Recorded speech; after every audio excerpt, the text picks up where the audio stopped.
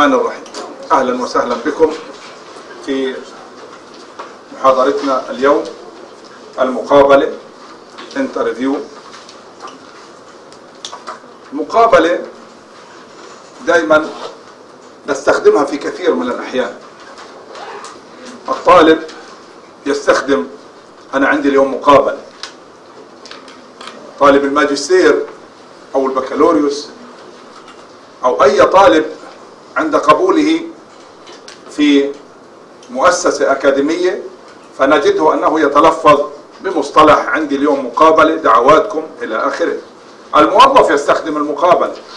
اليوم عندي مقابلة انتهينا من الامتحان التحريري. اليوم عندي مقابلة دعواتكم إن شاء الله أكون من الفائزين. أيضا يمكن أن تستخدم المقابلة بين السياسيين ما بين مرسل ومستقبل. أيضا يمكن أن تستخدم المقابلة عبر الشاشات تلفزة أو أي وسيلة اتصال بين طرفين مرئية زي ال video conference أو السكايب أو النت أو ما شابه ذلك وتحدث هناك المقابلة بين طرفين. المقابلة قد تكون فردية وقد تكون غير ذلك. طبعا لأنها بتكون فردية بين شخص وشخص. والشخص الأول يسمى مرسل والشخص الآخر يسمى مستقبل أو شخص وأشخاص. أيضا لا تعود عن مرسل ومستقبل لكن انتقلت من الفردية إلى الجماعية. المقابلة قد تكون متفق عليها مسبقا. يسموها مقابلة مغلقة. محدودة الأسئلة محدودة الوقت ولا يمكن أن تحيد عن هذه الأسئلة. وقد تكون المقابلة مفتوحة زي ما إحنا بنشوف عبر شاشات التلفاز على سبيل المثال وجها لوجه أو ال ال الاتجاه والاتجاه الآخر. طبعا يتم الاتفاق على الموضوع لكن إنه الأسئلة التي تدور إيش هي؟ نفس اللي هو المذيع ما بعرفش الأسئلة التي تدور إيش هي. لكن بده يكون خبير. من خلال أي جزئية أو أي خبر ممكن إنه يأخذه ويروح صايغ منه اللي هو سؤال. هذه بنسميها اللي هو المقابلة المفتوحة. مفتوحة لكنها محدودة الزمن. مفتوحة لكنها محدودة الموضوع. لكن غير محدودة الأسئلة. ودائما بتيجي هذه على أساس اللي هو النقاش للوصول إلى الحقيقة. نقاش الغاية منه الوصول إلى الحقيقة. طب يا ترى إحنا الآن خلينا نحكي بلسانكم إنه إحنا بدنا نصير بكرة مدرسات المستقبل هل بتفيدنا المقابلة؟ ولا بتفيدناش؟ فيش بدها تفيدنا المقابلة. هذا ما سنراه إن شاء الله. إضافة إلى إنه المقابلة في كثير من الأحيان يمكن أن أتعرف من خلالها على المحادثة الحقيقية. إنه مين عنده والله فأفأة مين عنده وأوأة مين عنده. حبس الكلام مين عنده عسر في الكلام مين عنده تأتأة وبالتالي من خلال المحادثة ممكن إني أنا أعرف كل صغيرة وكبيرة وخاصة عند النطق بها. أيضا يمكن كمدرس أنا في المستقبل إنه من خلال المقابلة إني أتعرف على الإنسان عندما يدلي اللي هو بالتعبير عن رأيه في كثير من الأحيان. أيضا علم النفس الجنائي بيستخدم المقابلة للناس الذين لا يقرؤون ولا يكتبون وقد يكونوا اطفالا أيضا لكنهم رأوا حقيقة معينة فلا بد من الإدلاء بها. أصحاب أيضا التاريخ والتاريخ يستخدمون المقابلة لكبار السن عندما يتحدثون أو يدلون بمواضيع هامة ولا يمكن على الإطلاق أن تسجل أو أن تكون بحالة استباء المقابلة إن جاز لي التعبير ان أجزم قد تكون الوسيلة التي لا يضاهيها أي وسيلة أخرى. يعني يمكن أن تكون المقابلة لا يمكن أن أستغني عنها وأضع أداة مكان هذه اللي هو الأداة. نيجي مع بعض ونشوف المقابلة مين يتعرف إيش المقابلة؟ طبعا المقابلة بالإنجليزي انترفيو فهذه بدنا ننتبه إحنا لها أيوه. هي طريقة جمع البيانات بشكل مباشر عن طريق الاتصال الشخصي تتضمن وتتضمن المقابلة طرح السؤال أو أكثر من خلال إجابات ممكن الحصول على البيانات ممكن قياس القيمة عن طريق تسجيل المحاورة أو التفاعل اللفظي الذي يحدث بين المقابل والمستجيب ثم يتم بعد ذلك تحديد محتوى التسجيل المقابلة أحسنت المقابلة هي عبارة عن جمع بيانات. لحظة لكن بشكل مباشر. جمع بيانات. لكن هذه البيانات هل بالضرورة إنه يكون يعني من وراء كل اثنين عملوا مقابلة إنه يكون في من وراءهم تراضي؟ هل بالضرورة أن يكون بينهم قبول؟ لا لكن لابد وأن يكون بينهم موضوع متفق عليه مسبقا. حتى عند السياسيين. بنفعش إن أنا أجري مقابلة مع سين من الناس بدون إني أنا ما أطرح السؤال. بعد إذنك ممكن آخذ من وقتك دقيقتين؟ تفضل. معروف إنه فلان بمثل اللي هو يعني منصب سياسي ما. فبروح سائل اللي هو السؤال المتعارف عليه. بكون يعني إنه بين الطرفين السؤال مطروح. لكن والله إنه هذه الإجابة الآن السائل هل هو راضي عنها؟ هل مش راضي عنها؟ هل اقتنع بها؟ هل إنها كفاية؟ طب بهمش تسال كمان سؤال من حق الطرف الثاني يقول له بهمش والله أنا لا أمتلك وقت أنا أعتذر إلى آخره. ولا بد أن يكون هناك اتفاق أثناء المقابلة بين الطرفين. المقابلة أيضا هي عبارة عن آه؟ مواجهة بين مرسل ومستقبل وقد يكون المستقبل أكثر من شخص وقد يكون المرسل أكثر من شخص. يبقى ممكن إنها تكون المقابلة بين شخصين مرسل ومستقبل. إيه، ممكن هدول الشخصين إن نحط بدالهم أشخاص. ممكن تكون بينهم أشخاص. طب مين تقول لي على عجالة إحنا اتفقنا إنه مرسل ومستقبل. في عندنا مرسل في عندنا مستقبل. خلينا نعمل رسم كروكي على عجالة هاي عندنا مرسل وهي عندنا مستقبل. مرسل مستقبل. هذه الان تعتبر فردية. وقتيش بتصير جماعية بين المرسل والمستقبل؟ هل بالضرورة إنه المرسل لازم يضلوا فردي؟ ممكن يكونوا مرسلين؟ مستقبلين. ممكن ولا لا؟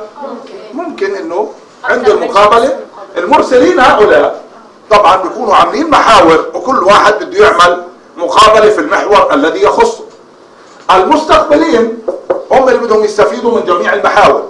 يبقى ممكن يكون اللي هو مرسل وممكن يكونوا مرسلين اللي هو أكثر من مرسل في آن واحد.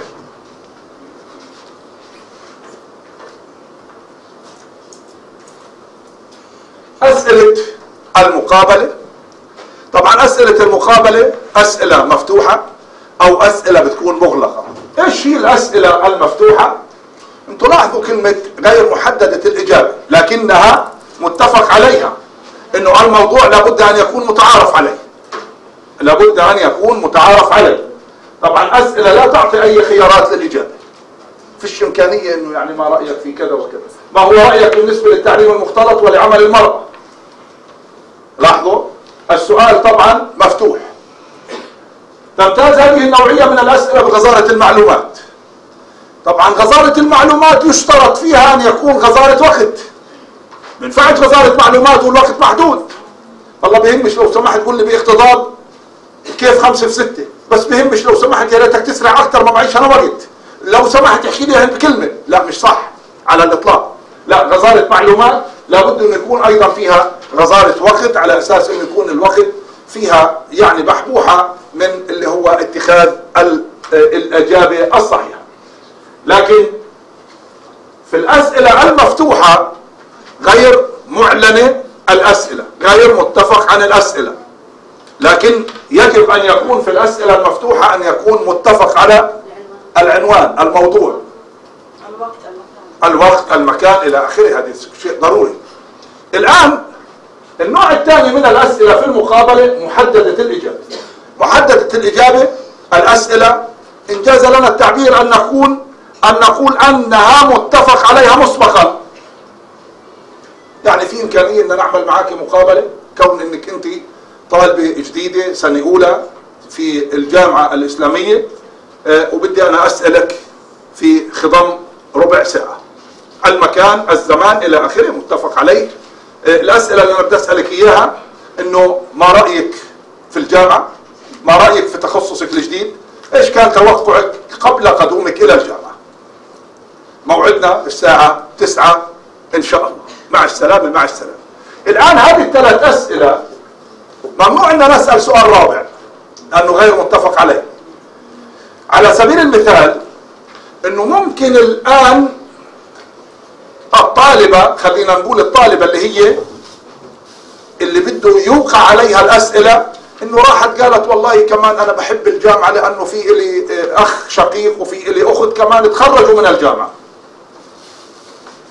هل بالإمكان؟ لاحظوا كيف السؤال الرابع اللي بده يجي. هل بالإمكان إنك تعطينا نبذة عن إخوتك؟ إيش شعورهم في الجامعة؟ هل بالإمكان؟ كأني أنا قاعد يعني بأتطفل تطفل في طرح السؤال. لأنه غير متفق عليه. لاحظوا؟ وبالتالي المتفق عليه اللي هو الأسئلة الرئيسية اللي صار بين المرسل والمستقبل. أنواع المقابلة طبعا أنواعها كثيرة. كثيرة أكثر من عشرة أنواع. المفتوحة المغلقة المقننة ال ال ال الإلكترونية ال- المؤقتة الزمنية العلمية السياسية إلى آخره من هذه الأنواع المتعددة. المقابلة الشخصية. مقابلة الشخصية personality interview. وجها لوجه. سيف تو سيف. face to face. بين الباحث والمبحوث أو الأشخاص المعنيين بالبحث وهي دائما بتكون اللي هي أكثر شيوعا. أكثر شيوعا لأنه استخدامها دائما بكثرة. مقابلة شخصية وخاصة عندما ولاحظوا كلمة إحنا حطينا اللي هو الباحث هذه تستخدم كأداة عندما الواحد بده يروح يعمل اللي هو استبانة ويعمل التقاء مع العينة تبعته مع العينة تبعته. عشان هيك لابد أن يلتقي مع الشخص مباشرة. أنا في عندي ثلاث أسئلة ممكن إن أنا أطرحهن عليك بصفتك أنت واحد اثنين ثلاثة. السؤال الأول السؤال الثاني السؤال الثالث. بجمع أنا هذه الأسئلة وبعمل لها اللي هو وزن نسبي. بقول السؤال الأول العينة تبعتي أجابوا عليه من خلال المقابلة ما نسبته كذا وكذا. اللي هو النسبة المئوية للسؤال الذي تم طرحه.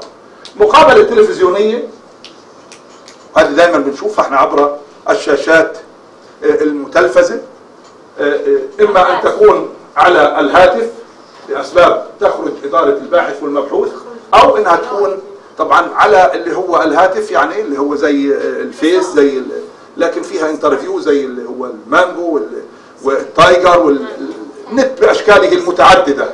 إنه ممكن إنه تصير أو ال Face أو ال- ال Skype أو ما شابه ذلك. طبعا هذه بتكون اللي هي هناك مقابلة بين هذول اللي هو الشخصين أو المجموعة إذا كانت فردية أو إذا كانت طبعا جماعية. ما هي خطوات إجراء المقابلة؟ ما هي شروط المقابلة الجيدة؟ إيش بدك تقولي؟ في مقابلة بواسطة الحاسوب آه مقابله أيضا بواسطة الحاسوب اللي حكينا إحنا عنها.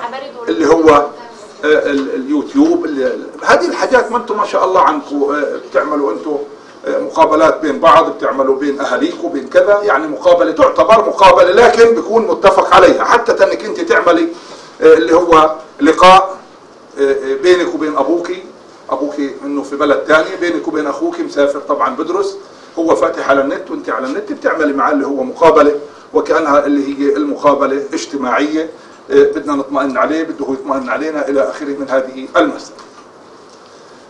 آه، ما هي شروط المقابلة الجيدة؟ رقم واحد. دائما ما هو بنفعش إنه والله وأنا ماشي في الممر هذا أقول أجي على بالي أعمل مقابلة. ممكن أعمل معك مقابلة؟ طب لو واحد سألني يعني هل يعني تمتلك غرضا من المقابل لا والله. طب ها ليش يعني بدك تضيع من وقتك وتضيع من أدواتك وتضيع وتضيع؟ ثم الإجابة التي ستحصل عليها فيش حتفيدك.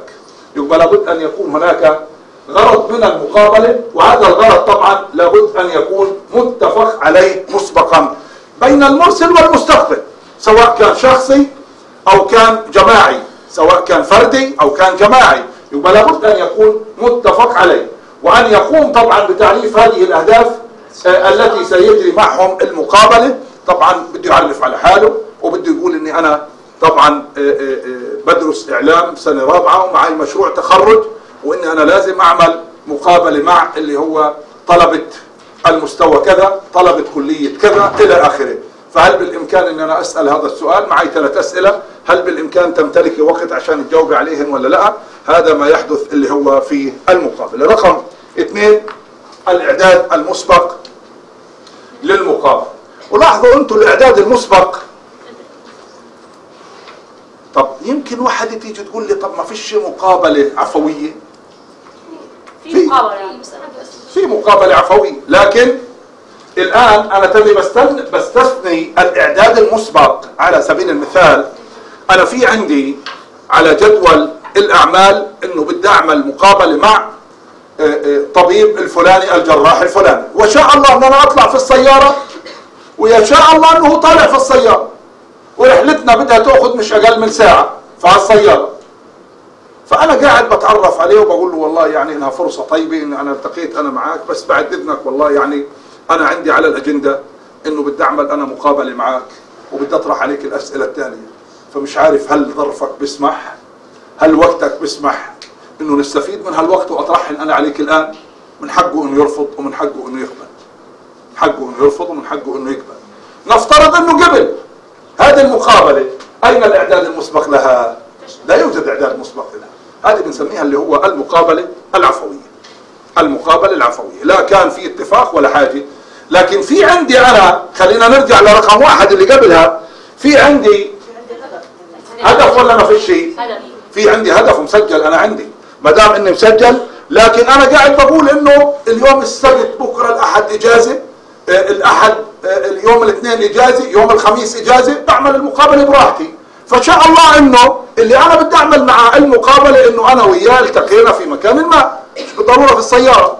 ولقيت إنه ظرفه بيسمح لقيت إنه ظرفه بيسمح لذلك في كثير من الأحيان خواتي الناس السياسيين اللي بيعملوا مقابلة لو إحنا الآن اجينا سألنا سين من الناس خلينا نقول الصحفيين إنه بنقول له أنت بتستنى في مين؟ بقول أنا بستنى في الموكب الرئاسي بستنى في الموكب القيادي عشان أعمل أنا مقابلة مع فلان الآن مع هذا الموكب ما كانش عنده إعداد مسبق كان مع ضيف أيضا سياسي وجاي من برا يبقى الآن فرصة إني أنا أروح طارح الأسئلة على الضيف عشان إني أنا أجمع بين المقابلة اللي أنا كان عندي فيها غرض والمقابلة الثانية وإن كان من مجال تخصصي إنه يوجد أيضا غرض على أساس أعمل جمع بين المقابلتين لهذين الشخصين. بتصير كمان أيضا على أرض الواقع. الإعداد المسبق تحديد الأشخاص المعنيين بالمقابلة. لازم إني أنا أحدد. أحدد سواء كنت أنا باحث أو كنت غير باحث. ان لازم ان أنا أحدد. أنا بدي أعمل لقاء مع الرئيس. طب الرئيس ما أجاش. اجى من ينوب عنه ولا لا؟ نعم اجى من ينوب عنه. أنا بسال لكن أنا بدي أكون أمين. بقول إنه كان سؤالي موجه إلى سيادة الرئيس ونظرا لظروف معينة. ما جاش الرئيس فجاء من ينوب عن الرئيس وطرحنا عليه الأسئلة التالية. السؤال فالإجابة السؤال فالإجابة. وفي نفس الوقت إني بدي أنا أكون تحديد وإعداد قائمة من. وخليني أنا أقول لكم على هذه الأسئلة. خلينا نطرح مر آه، طرحين الطرح الأول أنا كمدرس والطرح الثاني ما نراه من البيئة الخارجية. بنلاقي في بعض أحيان بعض من الإذاعات المحلية أو الدولية إنه قاعد أكثر من مرسل والمستقبل واحد لكن شخصية مرموقة. فبروح اللي هو المرسل اثنين يبقى صارت الآن مش فردية. وبروح أول واحد طارح عليه السؤال الآن هذا الشخص وهو بيطرح في السؤال الثاني زميله قاعد بفكر في السؤال الثاني بدي أنا أطرحه أو إنه عنده في أسئلة أي من الأسئلة الآن إني أنا أقدمه قبل الآخر؟ أي من الأسئلة بدي أقدمه أنا قبل الآخر؟ وخاصة دائما هذول اللي هو الناس أصحاب البرامج اللي هو المتلفزة أمام الجمهور إنه دائما تنهم بيلتقوا في شخصية ما بنلاقي إنه الأسئلة كأنها تكب عليك كبا. السؤال الأول. طيب بعد إذنك يعني أنت تحدثت كذا وكذا لكن في سؤال كأنه يطرح نفسه ما رأيك في كذا وكذا؟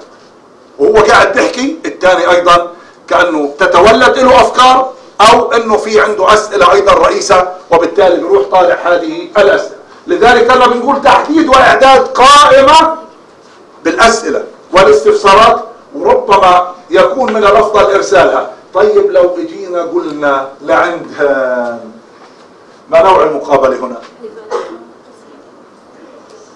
آه احكوا. ابعد أنا مغلقة. مغلقة. مغلقة ما دام إنه هو علم بالأسئلة وبدي أرسل لك الأسئلة مسبقا معناها إنه المقابلة مغلقة وليست مفتوحة. مغلقة معناها تم تحديد الأسئلة. ربما يكون من الأفضل إرسالها قبل إجراء المقابلة لإعطاء المبحوثين فكرة عن الموضوع. ويراعى في اعداد الأسئلة الوضوح والصياغة الدقيقة. يعني بدنا إحنا السؤال إنه يكون مفهوم على أساس إنه ما يروحش يقول عفوا أنا مش فاهم سؤالك. يروح يعمل له اياه بصيغه ثانية يقول له عفوا مش فاهم سؤالك. لا مش صح على الإطلاق. لأنه أنت اللي بدك تطرح السؤال لابد إنك أنت تكون فاهم السؤال وفي نفس الوقت إنه لا لبس فيه ولا غموض. يعني ما السؤال إنه أنا سطحيا قاصد فيه شيء لكن في محتوى مقصود فيه شيء آخر. مش صح هذه على المسألة على الإطلاق. لأنه خاصة بعض من الناس الذين يقع عليهم السؤال اللي هو بنسميهم المستقبل بروح بقول أنا كأني فهمت من السؤال أنا ما سمعتش السؤال. لكن أنا كأني فهمت من السؤال إنك أنت بتقول كذا وكذا وبنزل يجاوب طلع هو ذكي. ذكي في إيش؟ إنه ما جاوبش مباشرة قال كأني فهمت من طرح سؤالك إنك أنت بتقول كذا وكذا. الآن المرسل سكوت المرسل يعني إنه السؤال اللي أنت ظنيته صح. السؤال اللي أنت ظنيته صح. طب ليش الم- المستقبل ما راحش جاوب مباشرة؟ لا بقول بديش إن أنا أجاوب وبعد ما أتعب يقول عفوا يعني هو السؤال كان مش هيك. طب وساكت علي ليش؟ عشان هيك إنه أيضا لابد إنه يمتلك المرسل ذكاء والمستقبل ذكاء. لأنه المستقبل بده يمتلك ذكاء في الإجابة. وإيش يقدم على إيش؟ والمرسل بده يقدر يعني وقت أي من الأسئلة أقدمها على الآخر. أي من الأسئلة أقدم على الآخر. على سبيل المثال للحصر. في كثير من الأحيان أنت الآن تنك بده ينعمل معك مقابلة.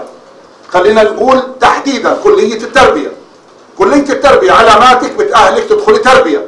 لكن أنا آسف. هل يا ترى أنه عندك آه، اخطاء في لفظ الحروف ولا لا؟ تعمل معك مقابلة. المقابلة لا تزيد عن ثوان معدودة. أقل من دقيقة. ليش؟ لأنه العدد كبير. الآن خلينا نقول إحنا اللي بدنا نعمل مقابلة عددنا كثير. خلينا نقول خمسة. الآن كل طالبة بتدخل سلام عليكم السلام أهلا وسهلا وبكون حاطط جملتين. الجملتين يشتملان على جميع الأحرف الأبجدية. وبقول لك اقرأي الجملتين التاليتين. الخط واضح؟ والخط كبير؟ على أساس إنه والله بهمش أنا بس نظارتي نسيتها. أنا والله بهمش يعني الخط مش واضح. والله بهمش الإضاءة إلى آخره. لا هذا مش صح.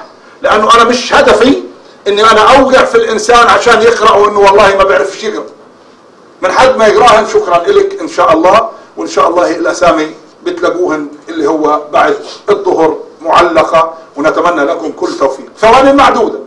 لو واحد سألني ما الهدف ما الغرض من وراء قراءه الطالب هذا أو الطالبه اللي هو للجملتين؟ عشان بدي أعرف إنه والله عنده اللفظ صحيح للأحرف الأبجدية ولا لا لأنه بكرة بده يصير مدرس. فبنفعش إنه والله يديلهم حرف مكان آخر وهكذا. يبقى كمان أنا المقابلة على أرض الواقع لابد إنه ما دام هي أداة تمتلك الذكاء يبقى من يمتلكها ومن يريد أن يتعامل معها لابد أن يكون أيضا أيضا يمتلك درجة الذكاء. آه تحديد مكان ووقت المقابلة مع ظروف المبحوثين والالتزام بذلك. ولاحظوا أنتم ما ينفعش إن أنا أعمل مقابلة مع سين من الناس وإني أنا أقول له يعني إن شاء الله المقابلة بدها تكون في المنطقة الفلانية طب ما فيش سيارات كيف بدي أنا أجي دبر حالك. وتروح انت محدد إلي اللي هو الساعة الفلانية والساعة كذا تجري المقابلة.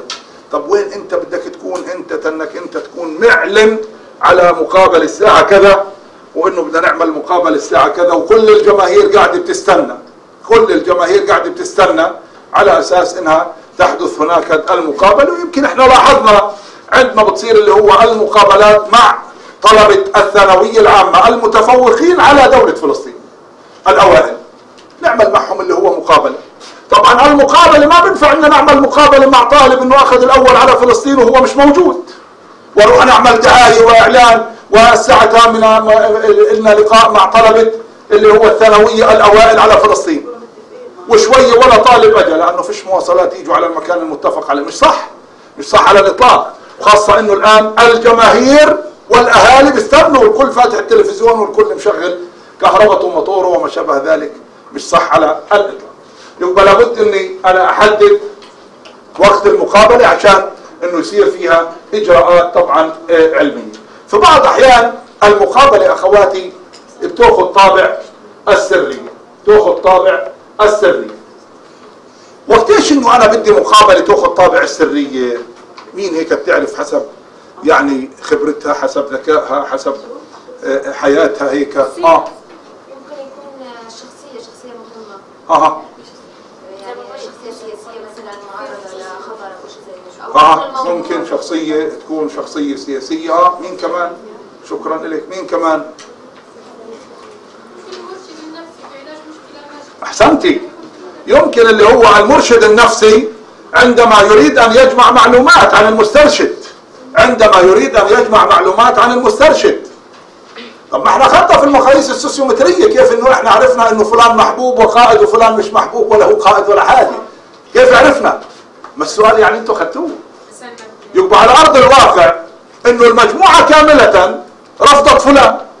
تحب إنه يقعد عندك في الرحلة؟ بتحب إنك تقرأ أنت وياه في الامتحانات؟ الكل أجمع إنه لا.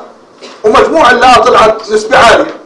ما بقدرش ان أنا أروح لفلان وأقول له المجموعة كاملة تحب كاش طب يتلقوا عروسهم من هنا وطالع أنا معاملتي معهم 40% سلبية. هخليها 100% يبقى أنا جاي بدي أحل المشكلة ولا إني أنا أخلي المشكلة تصير مشكلات؟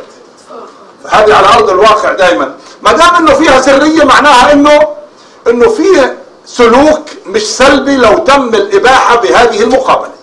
لاحظوا؟ حتى أنتم على أرض الواقع. إحنا في البيت. الوالدين الأم والأب في بعض الاحيان بتيجي تمسك بنتها الفلانية أو ابنها الفلاني. تقول له بهمش يا ماما لو سمحت إني أنا لاحظت في كذا وكذا وكذا. مين اللي عامل هذه المسألة؟ فبروح بقول لها بقول لها بهمش أخوي الكبير بس ما تجيبيش سيرتي. وفي نفس الوقت أنت بذكائك تصرفي. شيك؟ ولا إيش رأيكم؟ بنفعش الآن تروح تواجه اللي هو الابن وتقول له تعال ليش عامل هيك؟ أخوك قال عنك كذا وكذا. طب بسيطة هذه حلها عندي. إيش حيعمل؟ ما مش صح. يبقى كمان إحنا إحنا من واقعنا كمان الحياتي إنه المقابلة تستخدم. أما الأصل في المقابلة الأصل في المقابلة الإعلان. الأصل في المقابلة الوضوح. الأصل في المقابلة لكن حالات استثنائية يمكن أن نروح نقول هذه المقابلة سرية وسرية للغاية. أنا بحكي كلمة سرية بس بدون إنه ما نعرف إحنا إنها سرية. بدناش إحنا نخلي النتائج إنه حدا يعلم فيها على الإطلاق أو بدناش حدا يشوفن على الإطلاق. طبعا في هناك الظروف حتى كمان إحنا على أرض الواقع بنترك التبرير وبنقول أي نعم إنه والله من حق فلان إنه يعمل مقابلة سرية من حق فلان إنه حتى إحنا يعني نشهد له إنه لازم تكون اللي هي المقابلة سرية. رقم ثلاثة تنفيذ المقام تنفيذ المقابلة وإجراؤها. هناك عدة أمور على الباحث إتقانها لإدارة اهتمام متعاون المبحوث وحتى تكون المبحوث اللي هو المفحوص اللي هو المتعاون اللي هو المتعلم اللي هو المسترشد كله صح. الآن تنفيذ المقابلة وإجراءها. هتصير الآن المقابلة على أرض الواقع إجراءات للمقابلة. إيجاد الجو. إيجاد الجو المناسب من حيث إيجاد المظهر اللائق للباحث واختيار العبارات المناسبة التي تليق باللي هو الانترفيو المقابل. ولاحظوا أنتم إيجاد الجو المناسب. ما هو دائما اللي هو الجو المناسب. بنفعش إن نعمل معاك على سبيل المثال. بنفعش إن نعمل أنا معاك الآن مقابلة لا قدر الله وإنه القصف شغال. إيش رأيكم؟ بصح بنفعش أعمل معاك مقابلة وبينك وبين الامتحان النهائي أربع دقائق. بنفع؟ كلنا الحين حنقول لا. لاحظوا كيف؟ مش حقدر. لذلك هذه المقابلة الآن زي ما بقولوا خاطفة سريعة لكن بدي أنا أختار الوقت المناسب. طيب قبيل دخولك للامتحان صعب علي أن أعمل معك مقابلة لكن بعد خروجك من الامتحان لو أخذت من وقتك دقيقة؟ باخذ اللي هو وقت. التوتر واضح على فلان. الطمأنينة والصحة النفسية العالية واضحة على فلان. لاحظوا المقارنة؟ وبعمل أنا. ما رأيك في أسئلة الامتحان اللي انت قدمتها؟ وكلمات لاحظوا تحتاج إلى إجابات يعني كلمة أو كلمتين. كأن الأسئلة بدمج ما بين المفتوحة والمغلقة. بروح بدمج بين المغلقة والمفتوحة. وخليني أرجع فيكم مرة ثانية إلى الأسئلة الاختبار الموضوعية. قد تكون في شكلها الأسئلة موضوعية لكن في متنها مقالية. على سبيل المثال للحصر إني أنا بقول لك مسألة وبديك أربع خيارات. ولا يمكن تعرفي أي خيار إلا من خلال ال calculator وتروحي تمسكي ال calculator وتمسكي تحلي المسألة عشان في الآخر تقولي الإجابة. بقى يبقى هي سطحيا موضوعية لكن على أرض الواقع الموضوعية في مكان وهي في مكان آخر. يبقى لابد إني أجد المكان اللي هو المناسب عشان إني أنا أعمل حوار حقيقي conversation بيني وبين اللي هو المفحوص رقم اثنين من المقابلة واجراءاتها يخلق الباحث أجواء صداقة وثقة وتعاون مع المبحوث. وهذه دائما تستخدم أخواتي ما بين المرشد والمسترشد في العملية الإرشادية في المؤسسات الأكاديمية. إنه فلان في عنده ضعف تحصيل دراسي إيش أنا بدي أعمل معاه؟ بقول له بهمش يعني بعد أنا بقعد معاه بقول له لسه أنت أحسن من غيرك. بدي أعمل علاقة بدي أعمل ثقة. بدي اشعره ان أنا مش جاي أعمل معك استجواب. الأهل بتعاونوا معك يعني بهمش أنت طلبت من الأهل وهم رفضوا. طيب أنت صعب مع الأهل. ليش؟ عشان في الآخر إنه يقول لي أنا بالعكس بقول للأهل إنه أنا بدي أقرأ بيقولوا لي إحنا عندنا القراية آخر حاجة بنفكر فيها. يبقى صارت ثقة الآن متبادلة على أرض الواقع. طب واحدة حتسالني وتقول لي بهمش ما دام طرحت هالموضوع طب تنو المرشد الآن يعرف إنه الأهل هم سببا سلبيا وراء ابنهم في التحصيل الدراسي؟ شو حتعمل؟ يا أيها المرشد حبعت للأهل وأقول لهم هل أنتم عونا لابنكم ولا لا؟ عشان أشوف خلينا نرجع مرة ثانية لمدى الصدق الذي يدور من اللي هو الطالب أو الابن ومن اللي هو الأهل. والله إحنا في بعض أحيان بنقسى عليه. بعض من الآباء انه بصرح والله إحنا في بعض أحيان بنقسى عليه. أنا الآن كأني أخذت هذه الكلمة وبدي أصير أناقش أنا فيها بقولوش من ابنك. أنا أشكرك للثقة أيضا اللي أنت أوليتني إياها بس أنا بدي أقدم لك نصيحة انك أنت تقسى عليه. معنى ذلك إنه حيتأخر في التحصيل الدراسي معنى ذلك إنه أقرانه شلته زمرته. إنهم حيتفوقوا معنى ذلك هو حيصير عنده اضطرابات نفسية معنى ذلك معنى ذلك يبقى الحل. هات نتفق أنا وأنت على حل؟ إلى آخره. الآن الابن صادق في طرحه والوالدين طلعوا صادقين في طرحهم الوالدين طرحوا طب واحد حتقول لو كان الوالدين ما صرحوش؟ ابدا إحنا موفرين إلهم موفرين. يعني بيهمش لو أنتم موفرين له يعني معقول إنه النتائج؟ عندنا مدخلات وعمليات نواتج التعلم اختلفت معناها في علامة استفهام بين المدخلات والعمليات. طيب أنا بطلب منك إنه كل أسبوع ممكن إنك تيجي. وبروح أنا الآن بطريق غير مباشر بعمل التقاء مقابلة بين الابن وبين والديه أو بين الابن وبين ولي الأمر اللي هو جاي معه. وبقول له إنه أنا بشكر أنا والدك لأن والدك هيو عمل لك واحد اثنين ثلاثة على أساس أن يحدث تأنيب ضمير إلى الوالد على أرض الواقع. الثقة طبعا الصداقة التعاون مع المبحوث هذه بتفيد طبعا بتخليني إنه أنا أكون صادق في طرحي وفي نفس الوقت اللي قبالي يكون صادق في عطاء. مميزات وعيوب المقابلة. معقول إنه بعد كل هالكلام هذا انه يطلع لها عيوب؟ آه طبعا. نبدأ بالحسنات. اذكروا محاسن موتاكم. ما هي مميزات المقابلة؟ آخر واحدة بتقدم طبعا معلومات مميزة لكل جوانب الموضوع وخاصة في الأسئلة ال- كملوا. المفتوح المفتوحة وخاصة في الأسئلة المفتوحة. غزيرة بتدي معلومات غزيرة. الأسئلة المفتوحة. غير المقارنة. خمسة في ستة؟ هاي مقابلة أنا وأنت. خمسة في ستة؟ ثلاثين. لكن مين تقول لي كيف أجت الثلاثين من جراء خمسة ضرب ستة؟ الآن تفرد عضلاتي. شيء؟ أسئلة مفتوحة. رقم اثنين آه. معلومات معلومات المقابلة أكثر دقة من المعلومات معلومات الاستبيان يمكن شرح الأسئلة وتوضيح الأمور المطلوبة. لاحظوا أنتم ما هو المقابلة أداء أيضا. ليش أخطر دقة من الاستبيان؟ مين تقول لي؟ لا في إجابة غير المكتوبة. آه. آه في المقابلة المقابلة آه. استيعاب البيانات المطلوبة. الاستبان كأني أنا بدي أجاوب عما هو مكتوب. لكن المقابلة تلاحظوا في المقابلة أنا في لحظة من اللحظات ممكن إني أنا أتكلم بالعامية آه. فأعبر عما يجيش في قلبي وممكن أتكلم باللغة الفصحى أعبر عما يجيش في قلبي. لكن سؤال الاستبيان هل أنت تحب. أو لا. هل تحب الإفطار قبل آه، آه، قدومك إلى العمل؟ نعم أو لا. شيء مقننة إجابات نعم أو لا؟ محصورة محصورة. ومحددة. رقم ثلاثة. آه. من أفضل الطرق لت- لتقييم الصفات الشخصية للأشخاص المعنيين بالمقابلة والحكم على إجابتهم.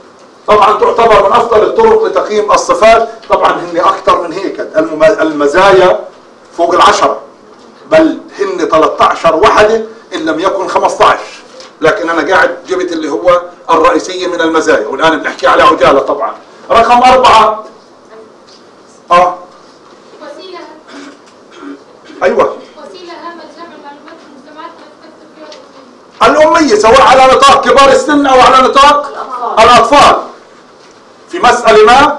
إنه الطفل لابد إنه يعني يشهد ويدلي بشهادته.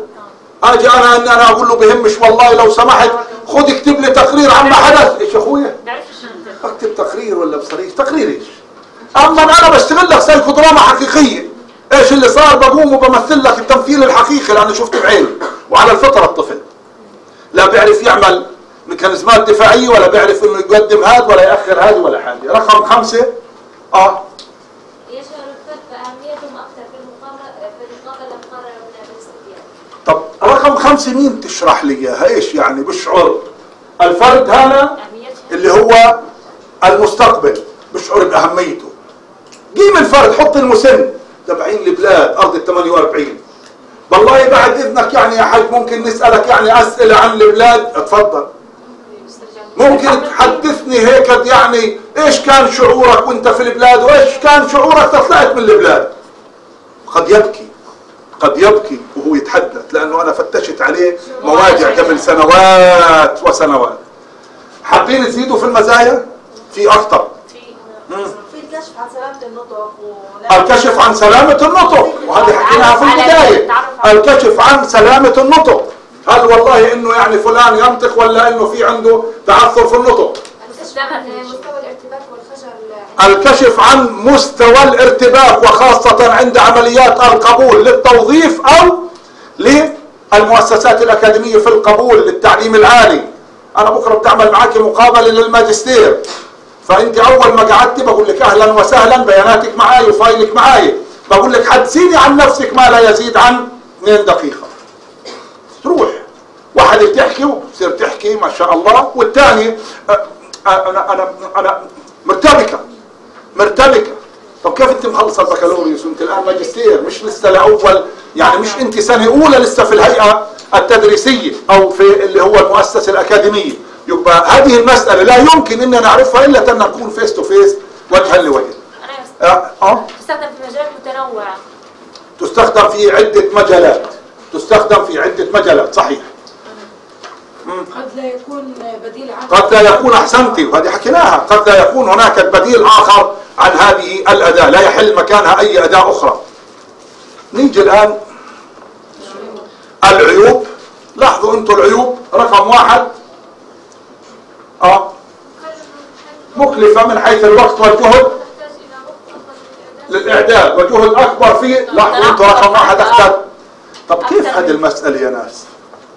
المقابلة اليوم في مؤتمر في محافظة كذا وأنت موجودة في محافظة كذا التنقل. طب التنقل بده مواصلة. طب ما معيش مواصلة.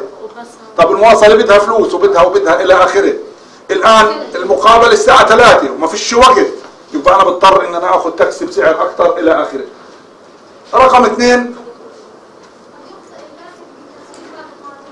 الباحث قد يخطئ في تسجيل بعض المعلومات. الباحث هنا المقصود فيه اللي هو المرسل إنه بتكون محادثة على هيئة كتابة. فممكن الآن إنه أنا أعبر كمان تعبيرا خاطئا عما سمعته. وممكن إنه أروح أنا بعض من الكلمات. أنا خليني بين قوسين ما استوعبتهاش 100% فراحت من الكتابة. يبقى هذا تعتبر عيب من عيوبها. ثلاثة.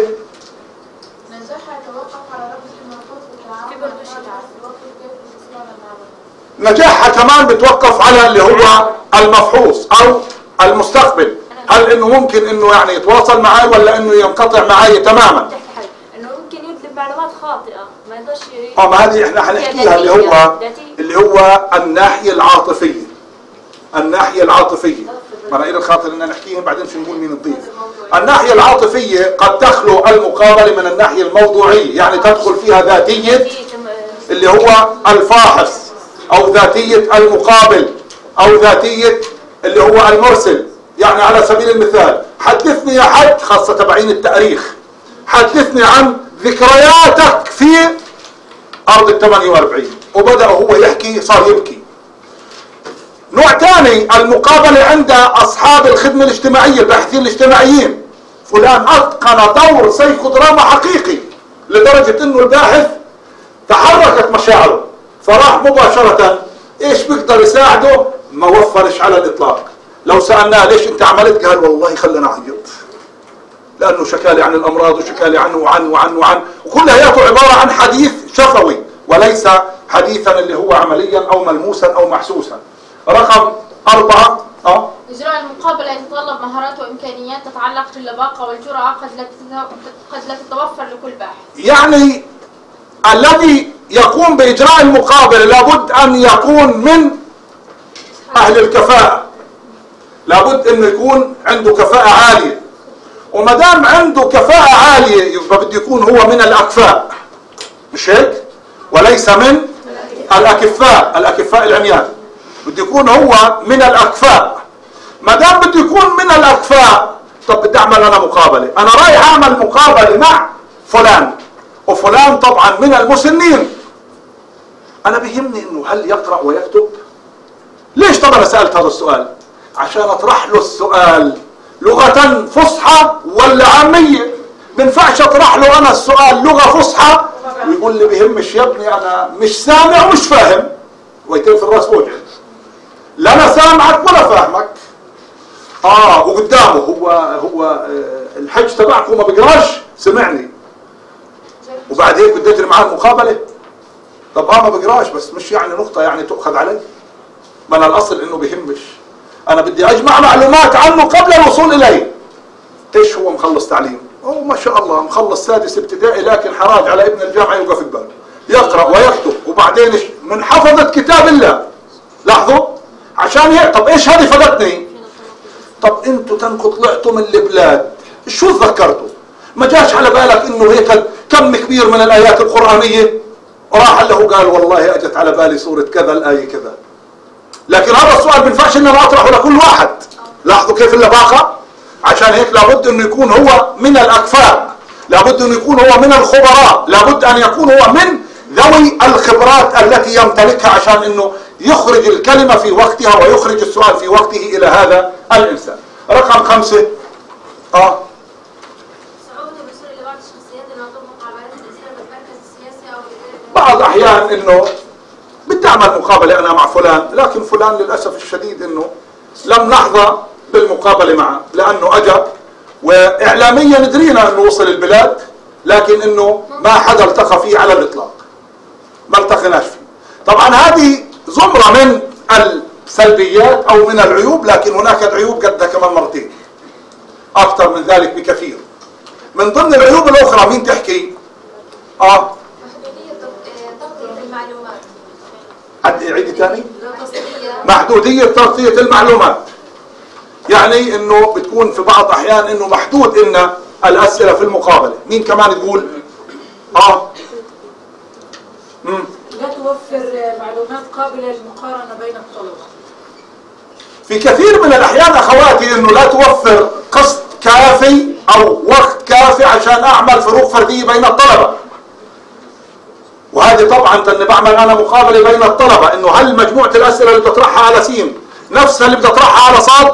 طب الآن تاني أنا بدي أنتهي من سين ويطلع سين ويلتقي مع صاد وعينه لام كأنه أفشل أسئلة. يبقى لذلك إنه أنا مطلوب مني إن أنا أجيب أسئلة أخرى. ما دام أسئلة أخرى معناها هل ثباتها؟ زي ثبات الأسئلة الأولى؟ يبقى صار هناك اختلافات بين الاثنتين. مين إلها أي سؤال في المقابلة؟ شكرا لكم جميعا على أمل أن نلتقي المحاضرة القادمة بالملاحظة إن شاء الله. شكرا لكم.